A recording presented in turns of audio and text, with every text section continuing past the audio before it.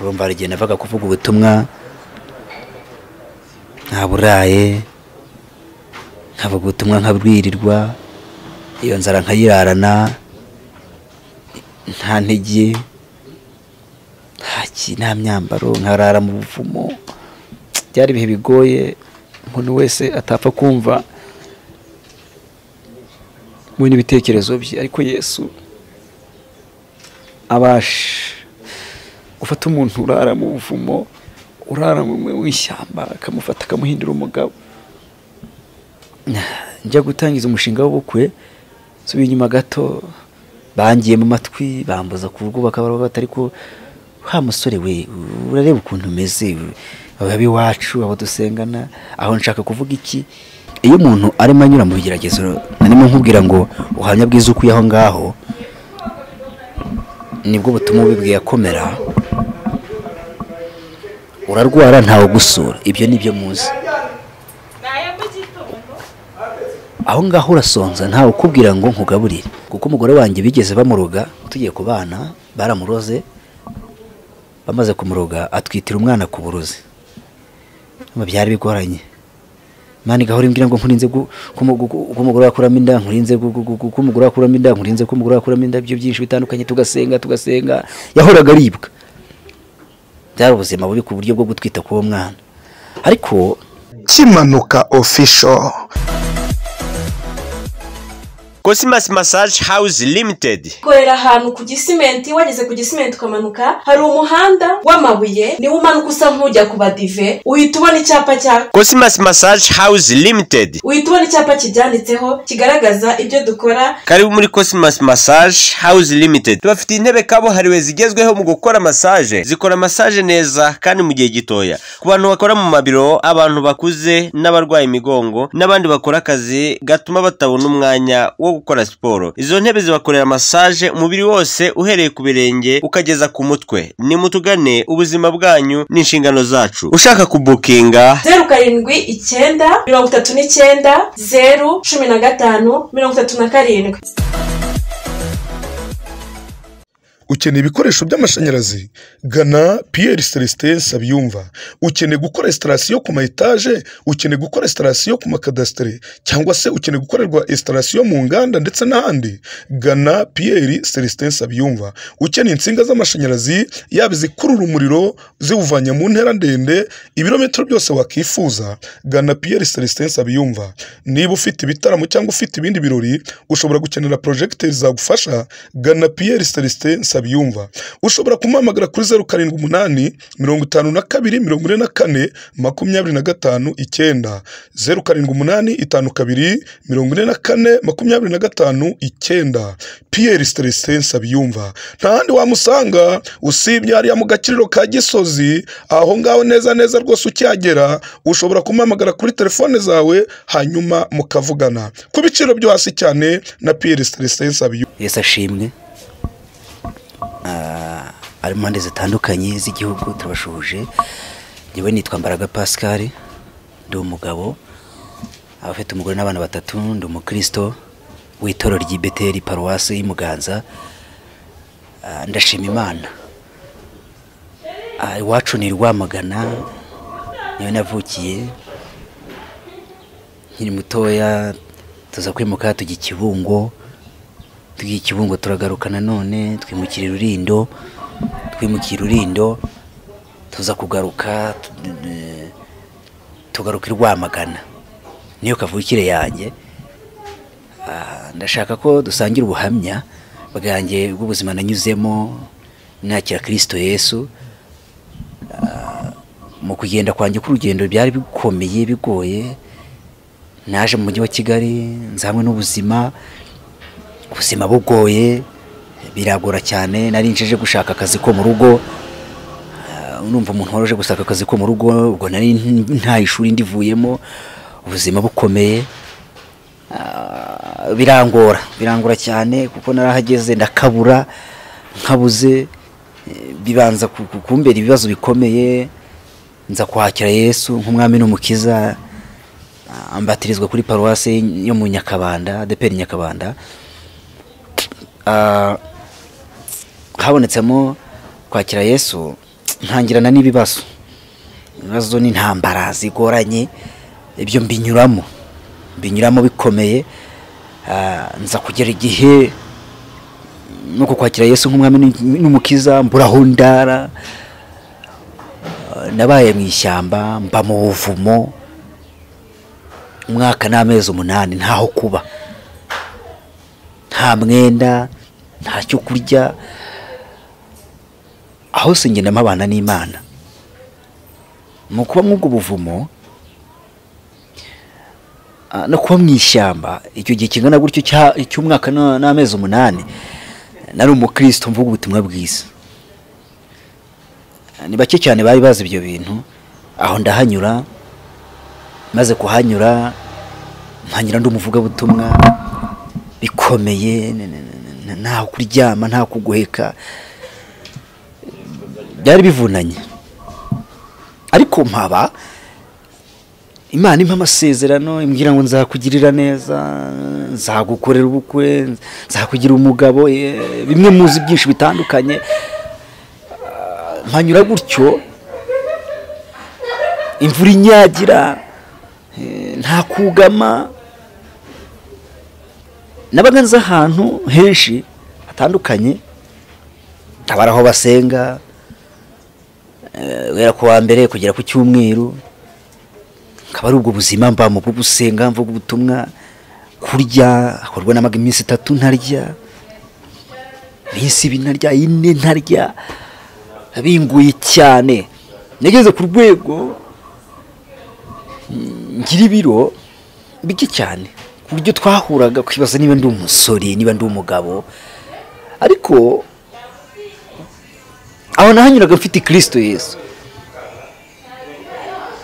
Nagira ngo mwene data nshuti eh, z'umusaraba wowe nkurikiye unyumva undeba wowe uri mu bibazo nk'ibyo nanyuzemo. Usabwa kubabarira mu mwuka ntubabarire mu mubiri. Nshatse kuvuga ngo umubabaro wo mu byaha utandukanye. N'umubabaro umuntu anyuzemo ari muri kirisito yesu. Uwo muri kirisito yesu umuntu aba afite ibyiringiro. Ibyiringiro by'uko hari umurengezi kabiri hari gutabarwa gatatu. Hari ukuva mu ibyo bintu. Umuntu ubabariye mu byaha nta byiringiro agira. Abenshi banabigwamo. Nyiri aho hantu mfite ibintu by'ibikomere byinshi bitandukanye by'ubuzima n'amarira menshi ah, ariko ikintu nkundira kirisito yesu ntigeze ntererana ntigeze ansiga ntabwo yigeze ampana. Natindanye n'imana cyane ah, mw'uko kuba mu buvumo no mu- no mu ishyamba. Eh, bingirira umumaro ukomeye ngira imbaraga zo kubasha gushobora kurezisita ibigeragezo ndi kunyuramo. Nkibutse ko kuba muri ibyo bigeragezo ubinyuramo uri kumwe na bene so abakristo abo bita bene data hanyura ntawe ukureba kandi babizi bamwe na bamwe ko birimo si ikibazo cy'u- cy'ubugome bwabo ya nta bugome ahubwo kirisito ukunyujije aho. Niwe uba ugomba gutumbira ukamuhanga amaso. Aho ndahanyura mba no muri korari ndi umuririmbyi hanyura bigoye ah, bikomeye. Twava muri repetisiyo abandi bakagenda bagataha imvura yagwa ikanyagiraho ku mabaraza. Ah, ibyo byose ni ibintu umuntu anyuramo. Kandi yabinyuramo ntiyivuvutire imana. Ubwo buzima mbubamo haruguru navuze ngo navugaga n'ubutumwa. Kandi ah, ikintu abantu bagomba gusobanukirwa kimwe iyo umuntu ari umuvugabutumwa ari umukozi w'imana akanyura muri ibyo bintu ikintu asabwa arinda ubuhamya bwe. Akarinda intambwe ze kugira ngo zidatera zigana mu byaha. Aho nahanyuze ikintu na cyo nkivuga ni inshuti y'imana. Byaramfashije cyane nkunda gutindana na yesu. Mbabara muri ubwo buzima mbubabariramo imana iza kungirira neza. Iza kunkorera ubukwe. Iza kumbwira ngo igihe kirageze cyo kugira ngo ngukorere ubukwe. Nguhe urugo nguhe umugore. Yabimbwiye ntaho kuba mfite. Ndara mu buvumo ndara mu ishyamba. Abantu muzi mu kigali hejuru eh, ahantu bita muri mera neza muri iriya shyamba ni ho nabaga kenshi cyane. No mu ipfiriye ahantu mu buvumo bw- bw'ikarama za jangwani ku bantu bakunda gusenga barahazi. Imbwira ko igiye kunyubakira ntaho kuba mfite. Icyo bacyumve abankurikiye abari mu mpande enye zitandukanye abari mu mubabaro nk'umfite cyangwa se nk'unanyuzemo abo dusangiye iby'uwo mubabaro ntangira umushinga w'ubukwe. Umushinga w'ubukwe natangiye nawutangira byumva ntawe ufite kuba nta mafaranga nta muryango nishingikirije nta bakomeye. Mw'ibyo bintu mbinyuramo. Imana impuza n'umufasha. Ndarambagiza urumva umuntu ugiye kurambagiza nta hantu afite ho kuba. Ubuzima arimo burakomeye uwo narambagije arambenga. Ambenze njyewe natekereje ko ahandi nshobora kuba mfite ikindi kintu cy'ubusembwa ariko nawe ari wowe. Nta- ntabwo wa- wakwemera gusanga umugabo udafite aho aba udafite aho arara. Ariko kubera yesu ngirirwa amahirwe aza kunyemera ntangiza umushinga w'ubukwe. Nta n'igiceri nari mfite. Uko ni ukuri kw'ibyo nkubwira wowe utaranyura mu ibyo nkubwira cyangwa wowe wabinyuzemo ntangira nta faranga na rimwe. Imana itangiza umushinga w'ubukwe dukora ubukwe tujya kwisuzumisha tujya mu mushinga w'ubukwe kuwutangiza ku rusengero turerekanwa tujya mu rukiko tugiye mu rukiko dusezerana imbere y'imana ubukwe bwagenze neza kandi bwari bwiza pe. Ubwo bukwe budafite n'ikintu na kimwe ariko bushyigikiwe n'imana. Mwene data wowe utarakora ubwo bukwe wowe ubona bitemera wowe ubona bitagenda ubona nta nzira reka mvuge gutya wowe ubona nta buzima. Eh, imana uko yari kera na n'uyu munsi niko ikiri iracyafite amaboko. Ibyo nabinyuzemo uwo mushinga w'ubukwe ntabwo ubura abantu bakubwira ngo wasaze. Kandi mu kubinyuramo nta nubwo ubura abantu bakubwira ngo ibyo ukoze ntibibaho. Waba bari mu muryango wawe. Abo mwegeranye musengana abo muvugana ubutumwa mukorana umurimo w'imana muvuga ubutumwa abo muririmbana nibo ba mbere bakubwiye yuko ibyo ukoze ntibibaho. Ariko si ikibazo cyabo.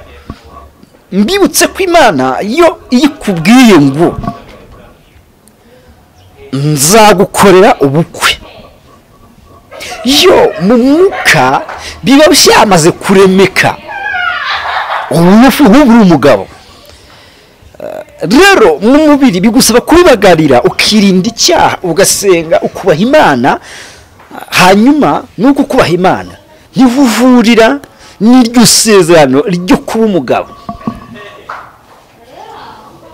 Ah, na- nabinyuzemo mbinyuramo ibyo bi- ni ibisanzwe eh, bigoranye nko mu mushinga w'ubukwe nta mama uri bumbwire ngo upore komera aho ndi kumwe na yesu nta muvandimwe uri bumbwire ngo ibi ngibi bigenze utya nari ndi kumwe na yesu. Nta muntu uri bumbwire ngo mbese sha bimeze gute? Cyo kora dovi uko nari nyifite. Ah, ariko kirisito yesu we yari ari kumwe nanjye yiteguye kundengera mbibutsa ko umushinga imana itangije ntabwo iwutangiza ngo iwurekere aho ngaho iwutangirije irawukomezanya ukarangira. Ubwo bukwe nkoze nta n'igiceri mvuye mu ishyamba ubuvumo bwarasohoye. Wowe unkurikiye nagira ngo ntukajye urebera imana mu butunzi ufite cyangwa mu buryo bwinshi butandukanye. Iyo umuntu yizeye imana kubw'ibyo abona n'imbaraga z'amafaranga afite ntabwo nta- ntabwo uko ari ukwizera. Uko kuba ari ukwizera kw'ibigaragara. Ku- kuvuga ngo ukwizera kugaragarira ibintu iyo uko kwizera kwawe ku- kugushingiye ku byo ubona uba uri kubeshya imana eh, ukwizera kwanjye ntacyo kwari gushingiyeho. Mbana n'umugore wanjye tumaze gukora ubukwe uwo ni umushinga w'uko wari urangiye. Nanjye ubwanjye nageze ubwo nshima imana nshingiye ku biboneka iyo urebesheje amaso yawe usubije inyuma ukibuka aho wavuye. Iyo rero umuntu ahindukije amaso ye agasubira inyuma akibuka ibyo anyuzemo mu mushinga atangije umuntu gushima imana mbibutse ko iyo dushima imana tudashima imana ku bigaragarira amaso ari na byo byantambukije aho nanyuze. Ibitagaragarira amaso rero ibyo mvuga biba mu mwuka ni imbaraga zihesha umukristo kunyura ahantu. Icya mbere havanye ubuhamya bwiza mu byo anyuzemo ibya kabiri agomba kuba avanye muri ubwo buhamya bwiza. Ni umusaruro w'imbaraga imana yamuhaye cyangwa se n'inkunga imana yamuteye anyuraho.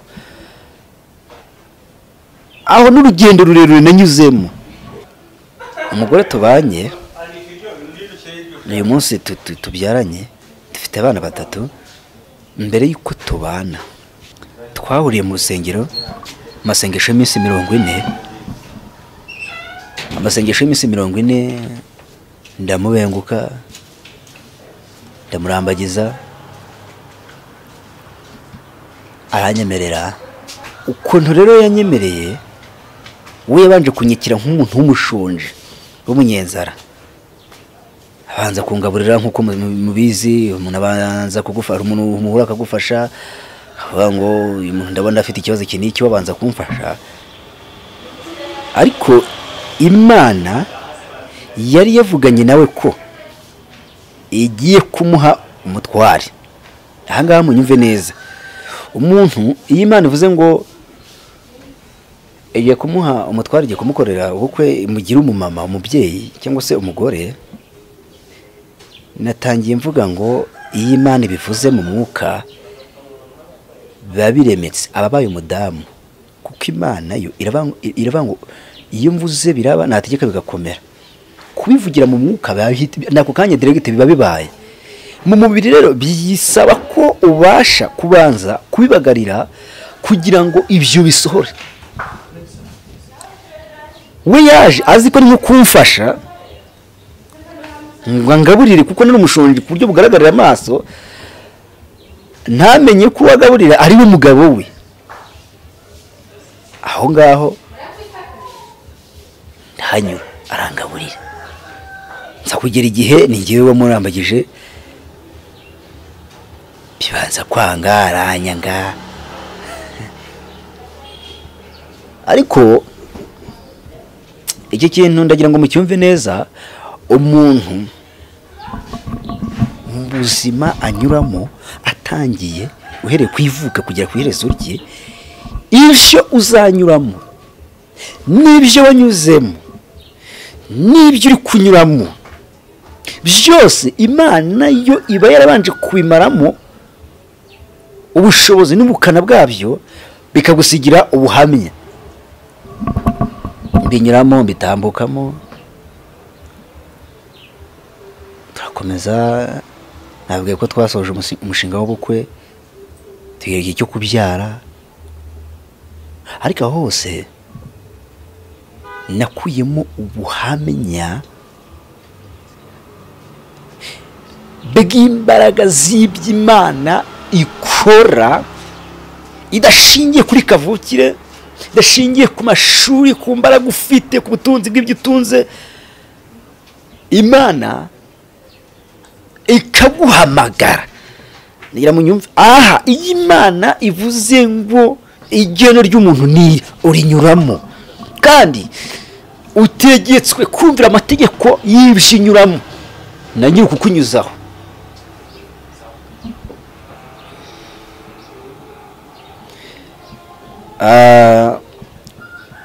iki ni ikintu cyumvikana ku- kubaho kwitwa ko ugiye kuba umugabo umuntu ugiye kugushaka akavuga ati "Kazi, i- uyu muntu azantunga. Eh, nagira ngo mujye mwumva neza iki kintu icyo ari cyo. Ikibazo umuntu anyuramo ntabwo akwiye gusohoka mu kibazo yikoma abantu. Oya twebwe ikibazo dufite ntabwo ari uko wanyuze muri ibi bintu. Cyangwa njye nabinyuzemo ahubwo icyo uvanye mw'ibyo bintu. Ubuhamya ukuye mw'iryo shyamba warayemo. Ubuhamya ukuye mw'ubwo buvumo warayemo. Ubuhamya ukuye mu kubaho nta hantu ufite muri makeya uri inzererezi imbere y'amaso y'abantu uba uri inzererezi ariko imbere y'imana uba uri umukristo. Muririmbyi umwe yaravuze ngo umusaraba ni we bendera ryacu twebwe abakijijwe.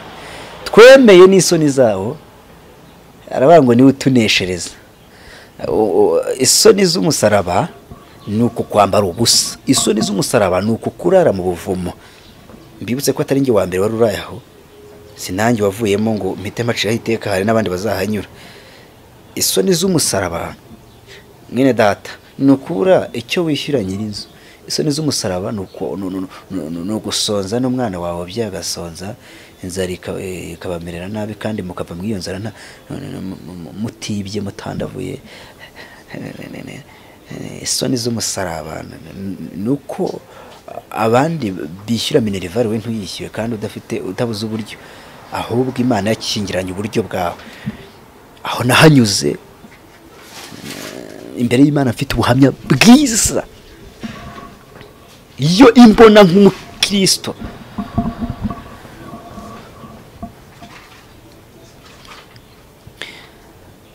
Iyo imana iguhamagaye iguhamagarisha imbaraga zayo ntabwo iguhamagara bingana n'imbaraga ufite. Kuko imana idakorana n'imbaraga z'umuntu n'ubushobozi bwe ikabikorana n'imbaraga zayo. Iyo iguhamagaye n'ubushobozi bwayo n'imbaraga zayo bingana n'izayo ubasha gukora ibyo imana ishaka kuko ntunyuranye n'ubushake bw'ibyo imana igukeneyeho. Kandi mbibutse ko iyo umuntu abaye igihombo ku mana we ubwe nta kiba kimaze. Nshatse kuvuga ngo iyo umuntu ashoye igishoro agutegerejemo kuko uzavamo inyungu ntuvemo inyungu nta musaruro uba ugifite. Hirya y'umubabaro urimo unyuramo hirya y'uwo nanyuzemo n'abandi bari kunyuramo. Bigusaba kuvanamo igihamya kigaragaza ko nta mwotsi ukunutseho nta kindi. Ni ubuhamya bwiza imbere y'imana.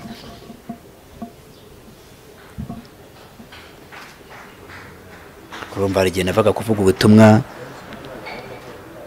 ntaburaye nkavuga ubutumwa nkabwirirwa iyo nzara nkayirarana nta ntege nta myambaro nkarara mu buvumo byari ibihe bigoye umuntu wese atapfa kumva we n'ibitekerezo bye. Ariko yesu abasha gufata umuntu urara mu buvumo urara mu ishyamba akamufata akamuhindura umugabo. Njya gutangiza umushinga w'ubukwe nsubiye inyuma gato bangiye mu matwi bambuza kubwubaka baravuga bati ariko wa musore we urareba ukuntu umeze iwacu abo dusengana aho nshaka kuvuga iki? Ntabwo buri kintu gishobora kurogoya umugambi w'imana ariko ntikibasha kuwurogoya. Umufasha wanjye nawe bamujya mu matwi baravuga ati ariko ubundi mu by'ukuri umu- umuntu w'umugabo kweri ureke kujyana umuntu udafite epfo na ruguru utagira n'akazi umuntu w'inzererezi wi- wi- umeze nk'imbo ni umukozi w'imana. Ariko ntabwo buri kintu gishobora gutuma umugambi w'imana kiwitambika biraza. Iyo bije rero uba usabwa kumenya uko ugendana na nyiri umugambi aho ndahanyura. Ni byinshi byavuzwe ni byinshi byagiye bivugwa. Kandi abantu bakurwanya bakurwanya bashingiye ku bigaragarira amaso hari n'abarenga ibigaragarira amaso bakakwereka ko imbere yawe ejo hazaza hari ikibazo. Nkibutse ko utarwanywa n'abapagani gusa ahubwo urwanywa n'abantu muri kumwe mu nzu y'imana. Icyo ni cyo gituma ubuhamya bukomera bukagira imbaraga. Kuko akubwira ibyo akubwira akakwereka n'ijambo ry'imana. Bigusaba kumenya uwo wakurikiye.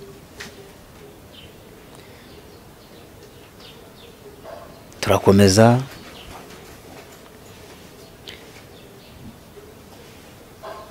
Turangije umushinga w'ubukwe nabwo byaragoranye. Bigenda bigorana mu bisanzwe nk'uko mu buzima bimera. Ubundi paul yigeze yandikira abaroma aravuga ngo nta, muyuda nta mugiriki nta mushyitsi muri byo. Kwizera twese biratureba. Mwene data kwizera niko kukuzanira intambara zo kugira ngo unyure muri ibyo bigerezo byose nagiye nyuramo. Inzara inzara ntabwo ari ikibazo gituma umuntu ava ku mana. Ahubwo inzara ni ikibazo kimusunikira ku mana. Kubura urubyaro ntabwo ari ikintu kikwambura agakiza ahubwo kubura urubyaro biguhesha gusingira imbaraga zo kugira ngo ukirizwe mw'uko kubura urubyaro mw'ubwo bugumba. Sinabuze ibyo nkora na byo bindi bisanzwe. Bataraje arware bwaki? Mm. Umugore reka twite turebe ko bwaki itamwica ndavuga ni se yesu ko wambwiye yuko ari wowe unyubakiye nkaba nsimbutse ibya mbere ibya kabiri. Bizagenda bite? Umwana baravutse. Bategereje ko umugore arwara bwaki baraheba. Umwana baravutse. Baterega umwana nawe buriya rwa- bwaki iraje mumerere nabi. Ariko nagira ngo nkubwire ngo eh, ikintu gituma ubuhamya bwawe bugira imbaraga. Imbere y'abadayimoni cyane kuko abari buhanganye nabo n'imbere ya satani imana na yo ikabona ko bumaze gushyika. Nuko ikintu cya mbere uzirikana ku itangira ryabonetse ukaba watangira urugendo. Kabiri nakubwiye ngo umenya inzira ko wayitangiye niryo tangira ry'umukristo. Kabiri umenya ko nyiri iyo nzira uri gucamo. Ashaka kumwegera kugira ngo aguhe imbaraga. Gatatu ugomba kuzirikane ko iherezo rihari. Iryo herezo rero ni ry'umuntu asangamo izingiro ry'ubuhamya. Ubwo buhamya rero buba bufite fondasiyo y'uko uvuyemo ufite umubano mwiza hagati yawe n'imana. Hari ikintu umukristo aba agomba kuzirikana? Umukristo agomba kuzirikana ko? Icya mbere. Iyo umuntu atangiye inzira aba ari wenyine. Nkwibutse ko ntabwo ibyago ubisangira n'abandi. Nabagaho korera imana mu buzima bugoye gutyo ntafite ikintu gishobora gutuma nkosereza imana nkirinda cyane. Nshatse kuvuga iki mu bigeragezo unyuramo ndi kuguha urufunguzo ndi kugereza ku- ku- kumvisha ko hari insinzi muri ibyo bintu uri kunyuramo ishobora kuva mu kwirinda icyaha muri ibyo bintu byose. Niba nari umusore ufite imyaka makumyabiri n'itatu nka n'ine nkabura amafaranga magana abiri cyangwa magana atanu magana atatu yo kwiyogoshesha. Umusatsi ukanyereraho kandi ariko mvuga ubutumwa. Hari n'igihe imana yagendaga imbwira iti nkurinze yuko bakujyana mu nzererezi. Umuvugabutumwa bakamujyana mu nzererezi si igitangaza ko habonekamo ibyo bintu by'uko umwanzi agusabiriza ahubwo ishusho uba ufite imbere y'ibigeragezo ntabwo ikwiriye kukwambura umubano hagati yawe n'imana. Hatase kivero dezaredra wowe aho unyura ntabwo hagusigira ubugwari aho uca hagusigira imbaraga hagusigira ibihamya hagusigira kuvamo uwo uri w'uyu munsi ndetse n'igihe kizaza. Kugeza uyu munsi uwari unzi ndi mu ishyamba anzi ndi no mu buvumo anyitegereje yabona ko hari ikintu cyahindutse. Nashoboraga kuba nagusura ukagira ngo ndagusuye. Noneho ukavuga uti umukozi w'imana yansuye kuko wari unzi nk'umukozi w'imana. Ariko ntu- ntu- ntu- ntumenye ko nje kurara iwawe nkarara iwawe ugira ngo nagusuye. Wambaza uti se ko utatashye sha? Ndamubwira ni ntirega nti- ntirega ubu nimukiye hakurya iriya ubu ndi mu gatsata ntinari nturutse nyarufunzo kandi n'ubundi ntawe mfite aho? N'umuntu yarabaza ngo mbese ko nshaka kugusura nagusanga he? Ahubwo nindi ruguru iriya ntiwambona kandi no mwino minsi ni ibintu umuntu anyuramo ariko ukarinda ubuhamya. Nkaza kugusura iwawe ukagira ngo nje ku manywa kukusura kumwe abakirisito musurana cyangwa abantu basanzwe ukabona umuntu aragusuye ukagira ngo aragusuye ari impuhwe kumbe ngewe nje kureba yuko wagize gute uhishije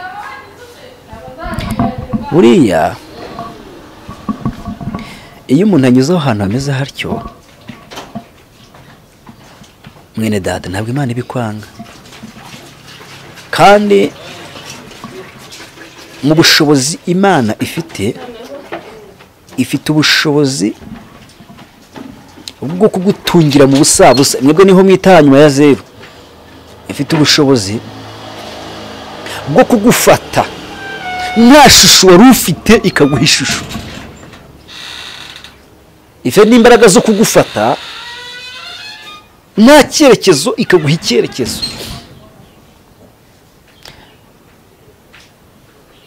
Aho hose iyo uhanyuze bigusaba kuhanyura uzirikana iyo wavuye ko wavuye mu byaha ni cyo nshatse kuvuga.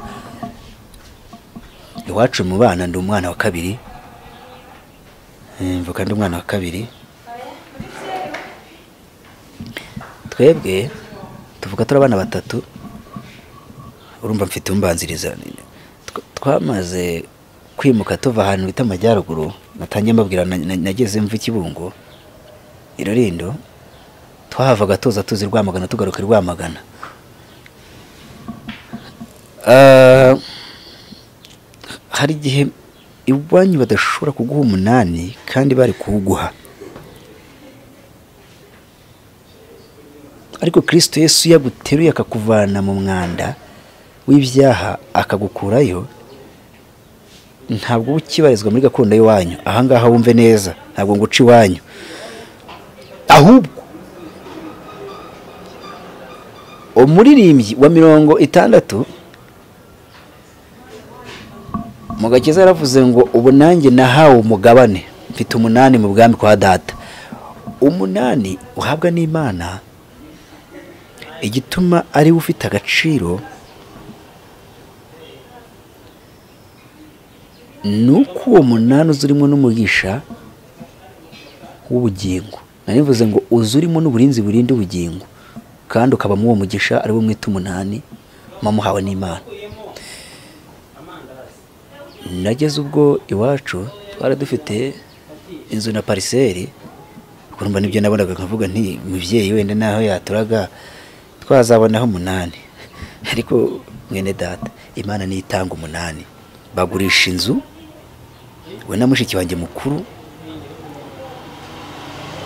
Hari ijambo mama yambwiye n'ubu ngubu njya nibuka rivuga ngo uzishakira umunani nanjye narawishakiye rero aho umubyeyi we atari akagusiga aho mama wawe adashobora kwibuka ko yakubyaye.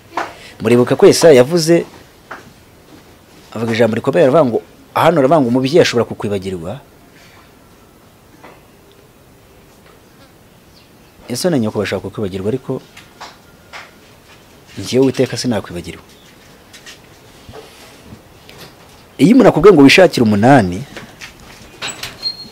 bivuze ngo agukuye mu maboko ye rero dawidi we avuga ibya zaburi yandika zaburi yaravuze ngo uwanseka nsuzuguye yaba kunsunikiraho. Iyo umubyeyi yakure ku imana iragufata. Mva mukobwa we mu mama wa mugabo we wa musore we wa mubyeyi we mu cyiciro cyose urimo kirisito yesu. Ni we utanga umunani wenyine. Yewe ibi nkubwira ntabwo ari uko nari mbuzi byinshi nyuramo byari bingoye nk'uko kwakira Yesu nk'umwami n'umukiza n'imijugujugu n'amabuye. Uwo mushinga w'ubukwe mutangiza nta ntebe nta gitanda. Ibyo biri kumvikana nta nkwano. Aha ndi gushaka kumvisha iki? Yesu ni we wenyine umuhagararana n'ibyo bintu unyuramo kandi ukabinyuramo utamukojeje isoni ubwawe nawe utikojeje isoni.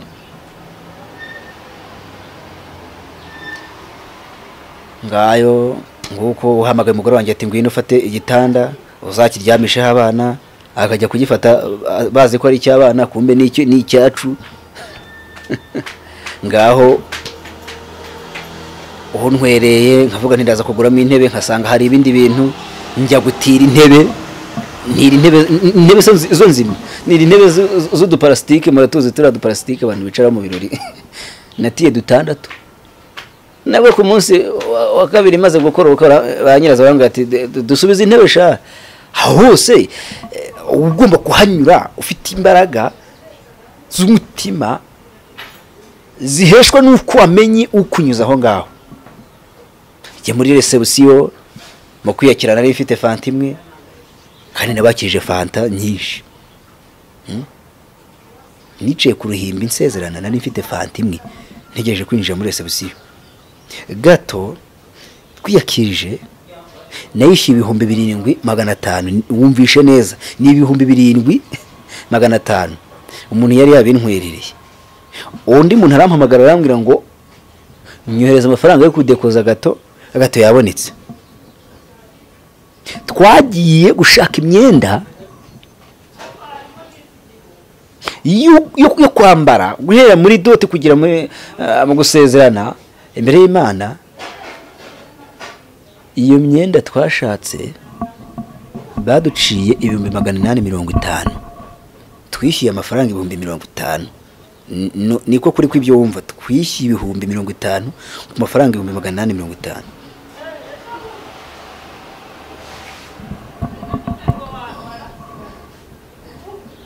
Twageze aho ngaho tugiye kwa- kwaka iyo myenda. Numva ntasimbuka nta- ntavuzeho Tu- tugezeyo baducirira igiciro. Umuda- umudamu wanjye ara- arambwira ati none se kutishyura? Uzi ko biri bugende bite? Ndavuga nti rero nta mafaranga afite. Icyakora we yari yaje afite ibihumbi mirongo itanu. Ibyo ngibyo twayishyuye. Kwizera mm, bi- bigomba kurenga kwitwa ibisazi. Kwizera bikaba ubuzima. Turagenda twegera uwo mumama turamubwira tuti rero watwambika reka ubu turi abakozi b'imana ntabwo wabura kutwambika kandi imana yazaguha umugisha. Ibyo byaba ibyo byari nko guteta umuntu waje gucuruza ntabwo uzumubwira ngo umukozi w'imana.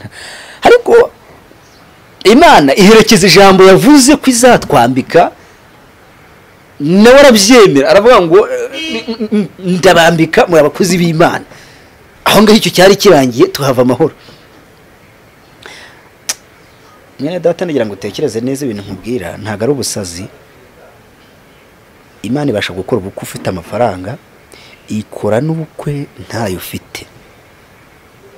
Ibyo byose biyigira imana kuba utayafite k'uyafite iyo ubabaye kirisito ahora ari imana. Iyo wishimye nabwo aba akiri imana ahangaha nshaka kubwira ngo ubuhamya bwiza uvanye mu kigeragezo ni bwo butuma uwo ubwiye yuko wahanyuze akomera.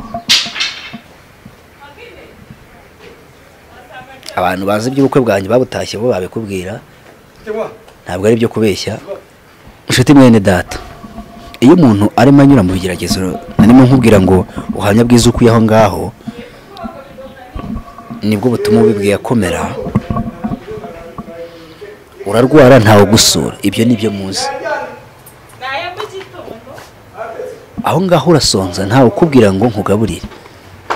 Dore ikintu kimwe cyamfashije zimwe mu ntwaro nakoresheje kugira ngo mve aho hantu imbere y'abantu ntagize uwo- ngirana nawe ikibazo iyo uri mu kigeragezo bwa mbere urebana na yesu wenyine. Ngewe ibi nkubwira ni kuri kw'ibyo nkubwira urabona urukweto kuri rusaza nageze ubwo mbura icyo kwambara. Mwese muzi amverope mirongo itanu. Ari nshya nayiguze mirongo itanu nagira ubuntu bwo kubona igiceri nkayikata hari ukuntu uyikatamo ikavamo akantu kameze nka tapi. Nkadukata ari twinshi ku buryo turi bungane nka tapi. Ntangize nkadutereka mu rukweto. Hari igihe rero nagendaga kuko twabaga turi mu gihe cy'imvura nkagenda nkagenda nkagenda nkagenda mu mazi mu bintu ntabuka mu bintu by'ibyondo. Za mverope zigagera aho zikinjiramo amazi. Aho ukandagiye umuntu wese akagenda yibaza uyu muntu avuye he? Imana yari yavuganye nanjye irambwira ngo nzaguhisha ku buryo ntawamenya ibyawe umuntu ashobora kumenya ko uri mu butayu ariko ikamuhisha yuko inkweto yawe wayishyizemo tapi ya mverope umuntu ashobora kumenya ko waburaye ariko ikamuhisha ko ufite intege nkeya. Ikakurinda isereri iri butume bagukura uri mu maboko yaba baguteruye. Umuntu yamenya ko nta mafaranga ufite. Ariko imana ikakurinda icyo bita guseba icyo mwebwe mwita guseba. Umuntu yamenya ko uri mu buzima bubi ariko imana ikakurinda ingaruka z'ibyo ari bumenye urimo unyuramo aho ni ho bita kuguhisha. Iyo rero umuntu anyura muri ibyo bintu rimwe na rimwe nagira ngo ngire ikintu mbwira abakirisito cyane cyane abakirisito nibo bibeba wirinda kwikoma abantu. Ntabwo iyo umuntu arimo anyura muri ibyo bintu yikoma abantu kuko akenshi uzahura ahubwo n'abatuma wabikoma. Nshatse kuvuga iki? Uzahura n'abantu bashobora kugusenya kandi bakagusenya ari bene so. Iyo ni inzira yo gutuma wabikoma cyangwa se bakakubonga bakavuga gutya bakakurwanya. Mu mvugo wenda ifatika. Ariko ntukikome umuntu. Reka nkugire inama. Ujye wikoma ikintu cyose cyatuma ugaragaraho icyaha uri mu kigeragezo. Kabiri ndetse n'igihe cyose utari mu kigeragezo. Reka mbabwire igituma ubuhamya butazigera bwa- ah, bwangirika bugata agaciro. Ubuhamya niyo ntwaro umukristo akoresha iyo arimo arwana n'umubi. Akoresheje igihe arimo kuko umwanzi we agutera arebye igihe ugiye kwinjiramo mvuge cy'umugisha agakoresha imbaraga aguha kwizera kureba ku bigaragara by'ejo hazaza urimo ugeramo akigatuma wifuza ibyo uzacakira ntakwereke ibyo wavuyemo. Aho rero bigusaba kumenya adiveriseri wawe uwo ari we kumenya uwo uhanganye nawe. Mbibutse ko mukristo ageze mu gikombe mucisha bugufi yahuye n'umugabo witwa porowoni ni agatabo k'umugenzi. Umukirisitu apoloni aramubwira ati ko hari ingabo yanjye ubwo ugiye sha ariko umukirisitu nakunze amagambo yamusubije aramubwira ngo ndabizi koko nari ingabo yawe ariko ubu sinkiri uwawe. Aho hantu nagiye mpanyura ndagira ngo unyumve neza ibi bintu. Ndimo mvuga wowe ushonje uyu munsi imana iracyagabura. Wowe udafite aho kuba imana iracyatanga aho kuba. Uyu munsi wowe ukubitwa n'umugabo. Reka mbivuge ntyo. Imana iracyafite ubutabazi. Imana iracyafite agakiza. Wowe uh, udafite icyerekezo. Imana iracyatanga icyerekezo. Wowe udafite urubyaro. Imana itanga urubyaro. Ndi umugabo wo guhamya ibintu nkubwira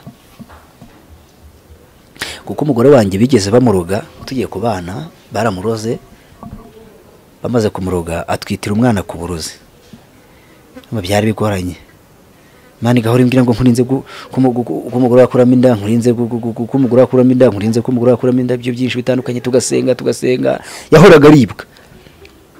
Byari ubuzima bubi ku buryo bwo gutwita k'uwo mwana. Ariko iyo ataza kuba ari uwiteka uriya mwana ntabwo aba yaravutse kuko twageze n'ubwo atangira kujya aruka amaraso. Ntabwo ndibuze kuvuga iby'urugamba rw'abarozi twagiye tunyuramo bitandukanye ahubwo ndashaka kukumvisha ko wowe ufite ikibazo cy'uko hari ibyo ubona byakunaniye. Imana ifite amaboko. Yageze ku rwego ku kwezi kwa munani ko gutwita n'amezi umunani yaragize atangira kujya aruka ibintu by'ibinyama amaraso. Yagiye no kwa muganga afite ibise akabibura.